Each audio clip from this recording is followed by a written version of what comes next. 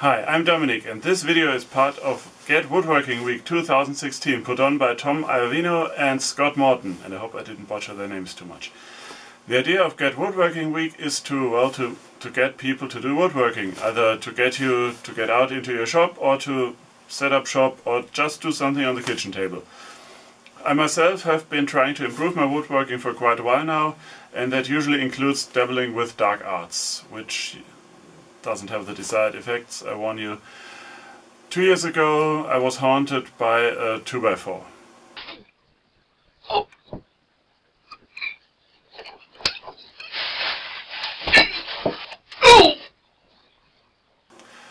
Then there were the brain parasites and, and the strange occurrences when mowing the lawn. And well, it all kind of culminated last year in the visit by a demon that tried to scam me out of my AdSense earnings. Really? No, I still have to meet my quota for this month, and the promising ones are already gone. So, yeah, and then there's, well, that today there's this, I, I just woke up with this, this, this cr craving and I, had, uh, I want to do wood carving at some point, but I have this wood craving, this, oh, I need, so, sorry, I, I need to make tea light holders! Lucky for you, I managed to challenge this urge into a very educational experience, I hope, for you. Because I'm trying to make tea light holders, although they probably won't be as decorative as some of my other work, on as many different tools as possible. Enjoy! The drill press! Actually, the drill press offers two methods here, with the first being undoubtedly the quickest and most boring, literally. The tea light sized Forstner bit.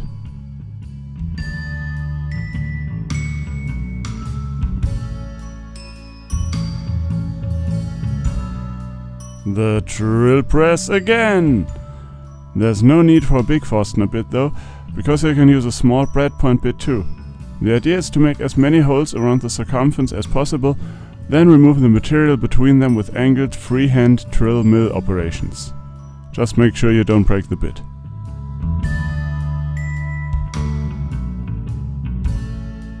The jigsaw!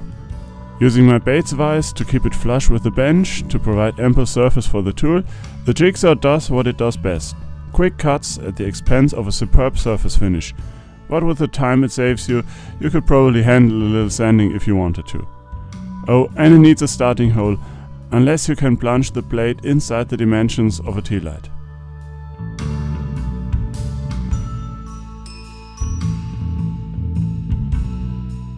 The scroll saw! It too needs a starting hole, and the wood I used was a little taxing for mine and I managed to break a blade. Also, the resulting offcut was a little hard to get out due to the blade wandering and producing a stubborn multi-axis cone thingy that I could not have made more complex if I had tried.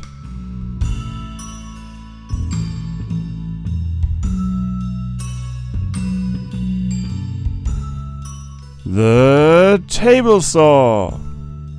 As a versatile tool, this also gets two uses, and the first makes use of a sled, which is the safer way to go, but could also be employed on the miter saw with loads of care.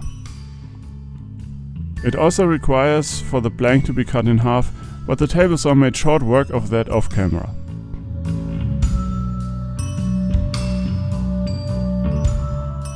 The fret saw! Not really known as the scroll saw that went off the grid, this tool is also struggling with the thickness of the wood, but it allows you to guide the blade better and thus avoid the offcut getting stuck. And yes, it needed a hole to get the cut started too.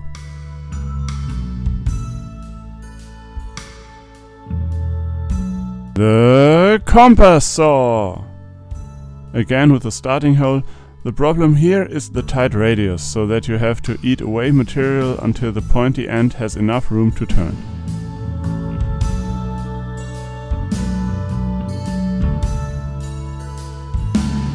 And the table saw again! This time using a fancy cove jig, which could be substituted with two slats clamped to the table in the right position, which I tried to determine by eye and error. In fact, one slat would suffice if you are as brave as Matthias Wandel.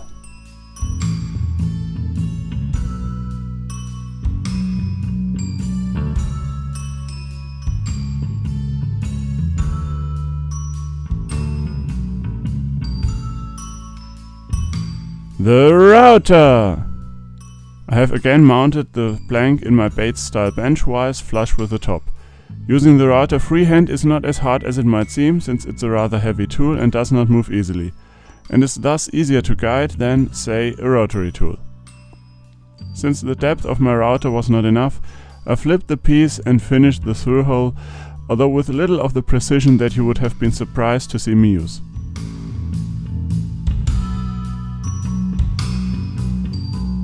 The hot glue gun! An unexpected contestant, and it takes advantage of the fact that no one ever laid down any rules that the tea light hole has to be made by removing wood. This actually used to be an offcut from the board that yielded the other planks. The lathe! Yes, you could use a Forstner or spade bit if you have the appropriate chuck for the tailstock. But where would be the fun in that? And yes, I'm using a carbide blade hollowing tool for this, but the traditional tools would work as well. The router table!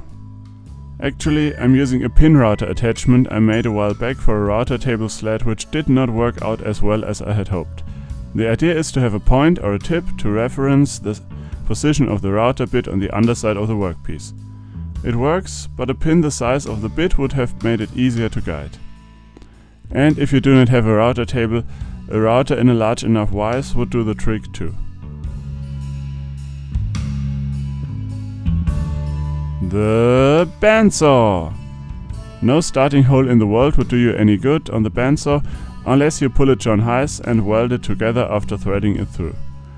So you have to cut the piece in two anyway, and doing it with what looks like a tangential cut gives you a better result than going for two halves. And finally, the rasp! Yes, you heard right. And it is easily possible to create a hole of tea-light size with this tool.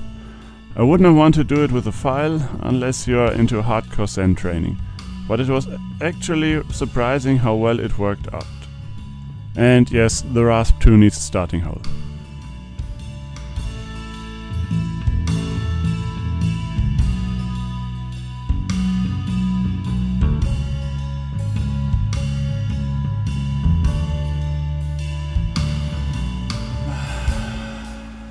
That's better. I hope you enjoyed this video and found what I channeled my edges into useful. If you can take just one thing away from this, then I call it a success.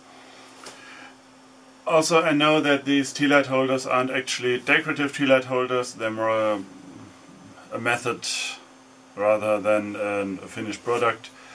A method how to get the tea light hole into a tea light holder that you might contemplate working on, that you might have the urge to work on.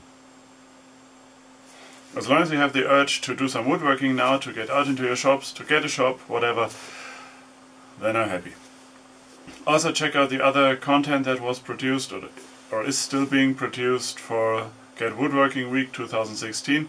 There will be links down in the description for you to check out. And as always, if you get inspired by this and if you make something, please share it with me so I can share it on. And just in case you're new to this channel, please take the time to subscribe. I'd really appreciate it and you will hopefully appreciate being notified of all my upcoming videos. Thanks for watching and remember to be inspired. Glad that that is over. I hope my shop is free of evil from now on.